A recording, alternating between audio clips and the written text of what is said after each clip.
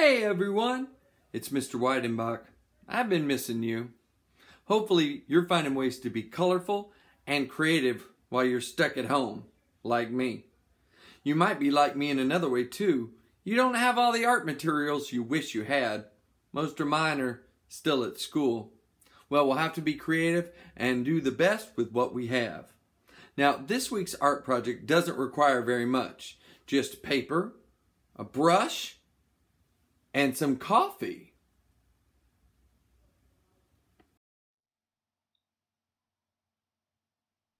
Wait, does that say what I think it says? Painting with coffee? Is that even a thing? Well, you bet it is. See, an artist named Gadak Al Nazar is doing amazing artwork with this unusual medium. Now, you know what a medium is, right? We're not talking medium like small, medium, large shirts. Medium means what you use to make art. Anywho, let's check it out. Ghidaq uses coffee, paper, brushes, and even toothbrushes and hair combs to create his amazing artworks. As you can see, some of the coffee marks are more saturated and darker, while other coffee marks are less saturated and lighter. But they're all shades of brown. When artists use just one color, it's called monochromatic. You can control how dark the coffee is by how long it sits and evaporates before you paint. Now, we all know what evaporates means. The water in the coffee is rising up into the air as it sits there. It rises up as water vapor, leaving darker and darker liquid. Do you see the toothbrush and hair comb in the picture on the right? How do you think the artist uses those? What effect do you think they would have? Hmm. Can you see what Ghidaq uses to start these artworks? What do they have in common? Yep. Do you see the handprints? It's a little messy, yes, but remember that messy can be fun. Just make sure you wash your hand before continuing your art. And don't touch the furniture. And definitely don't touch the dog. You might just want to ask your parents first. Now, what exciting things do you think you could turn your handprints into? Hmm. I wonder. Oh my goodness, what the what? Yep, that's right. Sometimes Ghidaq doesn't even use paper. He uses leaves.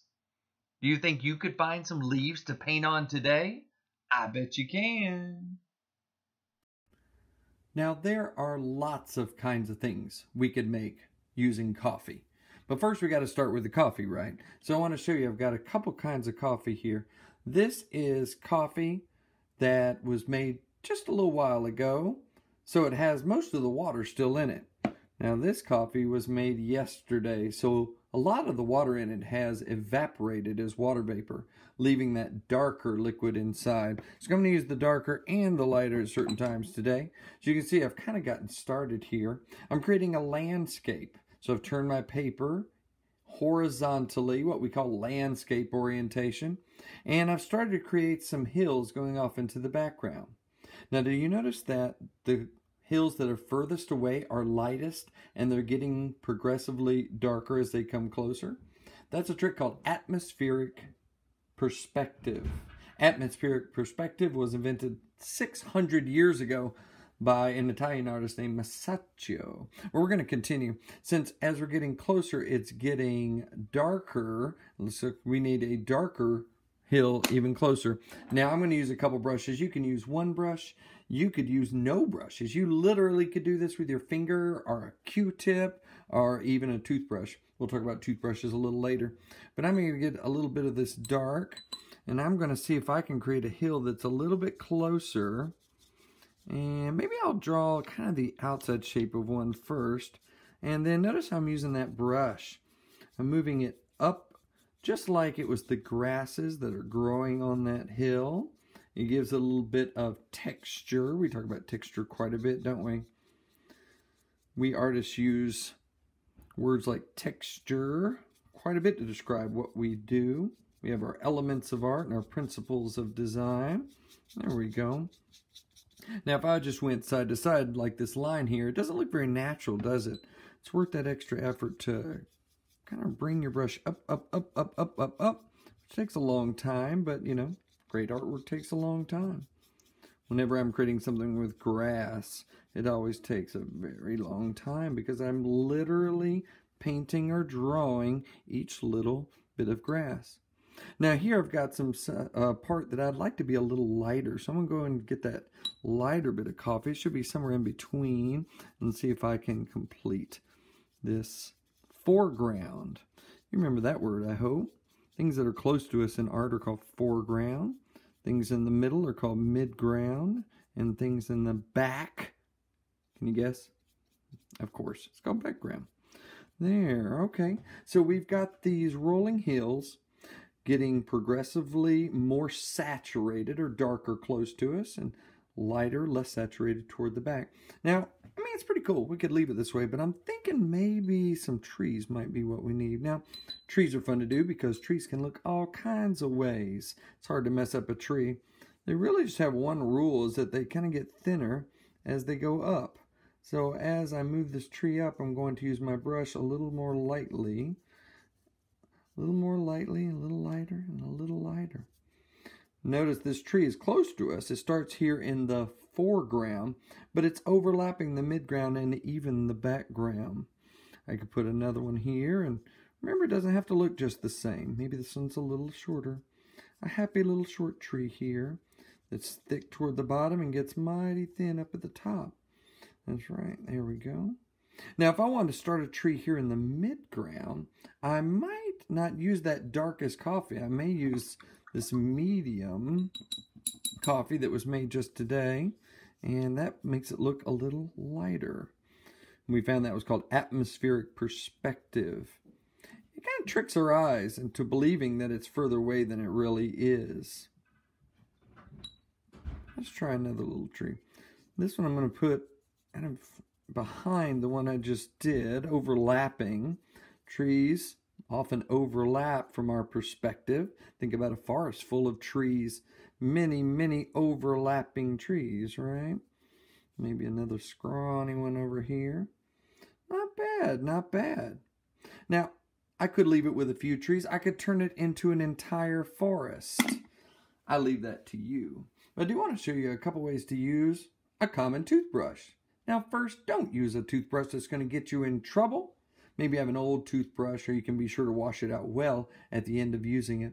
I can think of a couple ways to use it. One is to create that texture. I'm going to get some of that dark coffee, and I'm going to kind of dab it right up here to create leaves, little spots of leaves up here. Just dabbing up and down. There's no wrong way to do it. Like I said, that's the great thing about trees. They come in so many different shapes so many forms and varieties. Well, it can look about anyway. There we go. Kind of going on top of those branches. When the trees have no leaves, it looks like it's winter. Those trees that lose their leaves, of course, are called deciduous trees. And now I think spring has sprung on this tree at least and is starting to fill out. Now there's another way I can use this toothbrush as well. I can create to use texture. Now we're going to be flicking a little bit into our toothbrush. You gotta be careful with this because it can kind of sling that coffee everywhere. So you want to be a little cautious about this, maybe even take your project outside for this bit. Now if I flick it a little bit at the top, like this, do you see that little hint of a texture? Looks like it could be the first stars coming out in the sky. You could use that instead to create the leaves of a tree or just a variety of wildflowers on these hills. Try it in combination. Maybe a little bit of padding and a little bit of flicking to create a beautiful outdoor landscape. I can't wait to see it, everyone. Yours won't look like mine, but that's a good thing. We need variety I love to see lots of different kinds of landscapes. Hey again. So in addition to the landscape I just demonstrated and those handprint images we saw a little earlier, I have a couple more ideas that you can do with coffee. I think you're going to like them. The first one involves being a little bit messy. Remember, messy can be fun if you do it carefully. Check this out. I was a super mess. I spilled coffee. Really, I spilled it on purpose. I spilled bits of coffee here and here and here and here. And then I let it dry. Now, I didn't use anyone's coffee they were drinking. You know how grown-ups are about coffee. So use some old coffee. And spill it with permission. Somewhere won't ruin the furniture. Coffee table might be good. Dining room table might be good. Outside, probably better. Ask a grown-up if you're not sure. So spill a bit of coffee and then wait. Wait for it to dry. Once it's dry, take a very close look at those splotches. Turn it round and round until you see something that might resemble a monster. And that's what I want you to do, is take a pen and turn those splotches into coffee monsters. Look at my goofy coffee monsters. Watch out for that guy right here. Pretty fun, right? At first, you might not see a monster in your coffee splotch, but if you turn them round and round and round and round, you finally see something come to life. And then, just using a pen or even a pencil, you can turn it into your very own coffee monster or a whole bunch of them. Try that. So once you've done that, you're ready for the big show. The big show? Pirate maps. Anyone who knows me knows I love pirates. All things pirates. Pirate maps are some of my very favorite things to make. And this one was turned old looking with coffee. I bet you guessed that right. That's right, it's not really hundreds of years old. It was made to look old by using coffee. Now, there's a couple ways you can make an old pirate map. You can start with a piece of paper and turn it brown first, so it looks old. And then you can go over and draw all the parts of the map. Or you can flip that whole process on its head and start with the drawing. Now, if you start with the drawing, you have to be careful. You have to use the right kind of pen. Some pens, when they get wet with the coffee, will just spread and disappear, and all your work's gone. So be sure to experiment first to make sure you have the right pen. I did that. I do a lot of experimenting before I do my final work. Here's one page of just experiments. Here's another page where I was experimenting with different kinds of pens to see which would look the best after I put coffee on that paper. Now here's the one I'm working on right now. A brand new pirate map. I've got drawings, I've got words, I have cool scrolly things and fancy designs, but it doesn't look old yet. I think you know what it needs, a bit of coffee. So I'm to finish the pencil, go over with pen, and then I'm going to brush on that coffee so it looks hundreds of years old. All right, it's up to you. I want to see what you can make with coffee. And once you've made a landscape or a handprint drawing or perhaps a map or even a coffee monster, I want you to take a picture and I want you to send it to my email. It's weidenbachc at myips.org. I'll spell that for you. W E I D E N B A C H C at myips.org. Of course, all that information's on the Edison website. You can just go there and my email will be available for you there. So, take a picture, send me those images. I would love to see them. I'm just as bored as you are. I need your artwork to make my day a little bit better. So please start sending them in. If you send me an email, you can be bet I'll be sending one back telling you what I think about your awesome coffee art. All right, let's get creative and colorful, my friends, and we'll talk soon. I miss you. Bye, everyone.